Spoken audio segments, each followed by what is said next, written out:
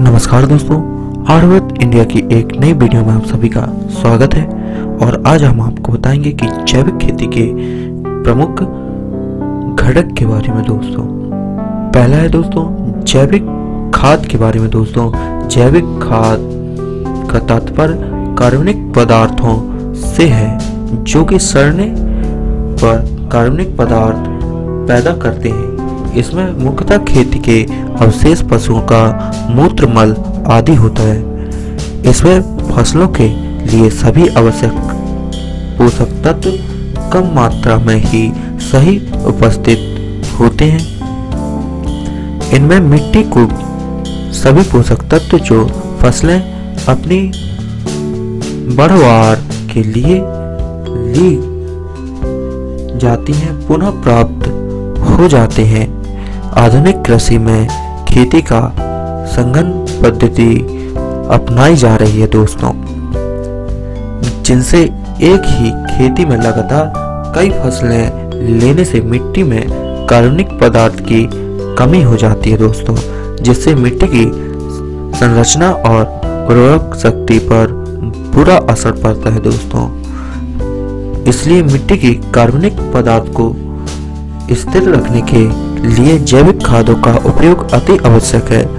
साथ ही साथ, जैविक खाद, मिट्टी की संरचना, वायु, तापमान, जल धारण, क्षमता की जीवाणु संख्या तथा उनकी अभिक्रियाओं भेष मिनियम क्षमता और भूमि कटाव को रोकने पर अच्छा प्रभाव डालती है दोस्तों। हमारे देश में काफ़ी समय से जैविक खादों का प्रयोग परंपरागत खेती में होता आया है। इनमें प्रमुख कंपोस्ट खाद है, जो नगरों में कूड़े, करकट, दूसरी खेती, अवशेष और गोबर से तैयार की जाती है। गोबर की खाद में अन्य कंपोस्ट अपेक्षा नाइट्रोजन तथा फास्फोरस अधिक मात्रा में पाए जाते हैं। जैविक खादों में लगभग सभी आवश्यक पोषक तत्व की मात्रा पाई जाती है दोस्तों। और दूसरा है दोस्तों, गोबर की खाद। भारत में प्रत्येक किसान खेती के साथ साथ पशुपालन भी करते हैं। यदि किसान अपने उपलब्ध खेती अवशोषों और पशुओं के गोबर का प्रयोग खाद बनाने के लिए करें तो स्वयं ही उच्च गुणवत्ता की खाद तैयार कर सकते हैं। अच्छी खाद बनाने के लिए एक लीटर या एक मीटर चौड़ा, एक मीटर गहरा या आवश्यकता अनुसार पाँच से दस मीटर लंबाई का गड्ढा खोदकर इसमें उपलब्ध खेती अवशेष की एक परत पर गोबर तथा मूत्रमल की एक पतली परत, दर परत चढ़ा दे। उसे अच्छी तरह नम करके गड्ढे को उचित ढंग से ढककर मिट्टी और गोबर से बंद कर दें। इस प्रकार दो महीने में तीन पलटाई करने पर अच्छी गुणवत्ता की खाद बनाकर तैयार हो जाएगी। दोस्तों वर्मी कंपोस्ट केचुआ खाद के बारे में बताएँगे दोस्तों अब इसमें केचुआ द्वारा गोबर और अन्य अवशेष को कम समय में उत्तम गुणवत्ता की जैविक खाद में बदल देते हैं। इस तरह की जैविक खाद से मिट्टी जल धारण क्षमता में वृद्धि होती है। यह भूमि की उर्वरक शक्ति को बढ़ाने में दीमक के प्रकोप को कम करने और पौधों को संतुलन मात्रा में आवश्यक पोषक तत्व प्रदान करने के लिए उत्तम है दोस्तों। और अब हम आपको बताएँगे दोस्तों, हरी खाद के बारे में।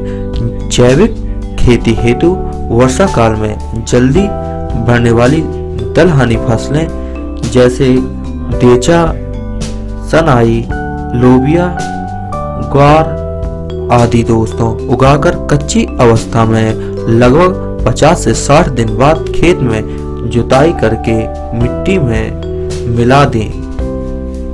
इस प्रकार खाद भूमि सुधारने, मिट्टी कटाव को कम करने, नाइट्रोजन स्थिरीकरण, मिट्टी संचारण और जल धारण क्षमता को बढ़ाने में सहायक सिद्ध होगी।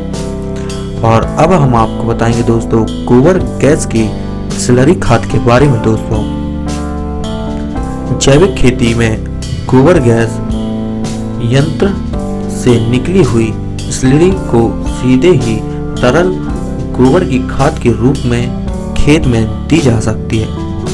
यह शीघ्र ही फ़सल को लाभ पहुंचाती है। गोबर की खाद मिट्टी में मिलाने पर एक लंबी प्रक्रिया से गुजरने के बाद उसके पोषक तत्व फल को उपलब्ध हो पाते हैं, जबकि स्लरी स्वयं ही सड़ने में इसमें विद्यमान सभी पोषक तत्व, फ़सल और पौधों को शीघ्र ही प्राप्त हो जाते हैं दोस्तों। एकत्रित स्लरी खाद का चूरा करके उसे सीधे कूड़े में डाला जा सकता है।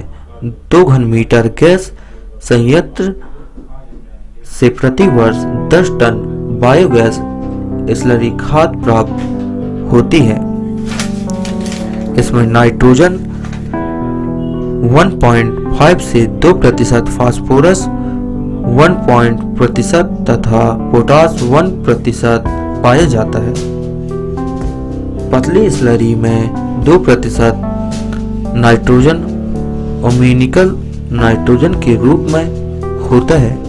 इसलिए इसे सिंचाई जल के साथ नालियों में दिया जाता तो इसका तत्काल प्रभाव फ़सल पर स्पष्ट रूप से देखा जा सकता है। सूखी स्लरी में से नाइट्रोजन का कुछ भाग हवा में उड़ा या उड़ जाता है।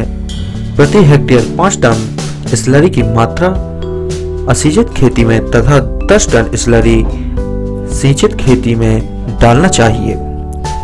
जैव उर्वरक के बारे में अब हम आपको बताएँगे दोस्तों। जैव उर्वरक सूक्ष्म जीवों की जीवित कोशिकाओं को किसी वाहक कैरियर में मिश्रित करके तैयार किए जाते हैं दोस्तों। इसमें राइजोबियम कल्चर सबसे अधिक उपयोग में आने वाला जैव उर्वरक है। इसके जीवाणु दहनी या दलहनी फ़सलों की जड़ों में गांठे बनाकर उसमें रहते हुए वायुमंडलीय नत्रजन को भूमि में स्थिर कर फ़सल को उपलब्ध कराते हैं दोस्तों। प्रत्येक दलहनी फ़सल का अलग अलग कल्चर होता है। यह जीवाणु 50 किलो गत से 135 किलोग्राम नत्रजन प्रति हेक्टेयर मिट्टी में स्त्रीकरण करते हैं दोस्तों। राइजोबिया की 100 सात से 750 ग्राम मात्रा 180 से 100 किलोग्राम बीज के लिए पर्याप्त होती है। तो उम्मीद है दोस्तों, आपको दी गई जानकारी पसंद आई होगी। यदि आप हमारी यह वीडियो YouTube पर देख रहे हैं तो चैनल को सब्सक्राइब कीजिए और यदि आप हमारी यह वीडियो फेसबुक पर देख रहे हैं तो पेज को लाइक कीजिए। धन्यवाद।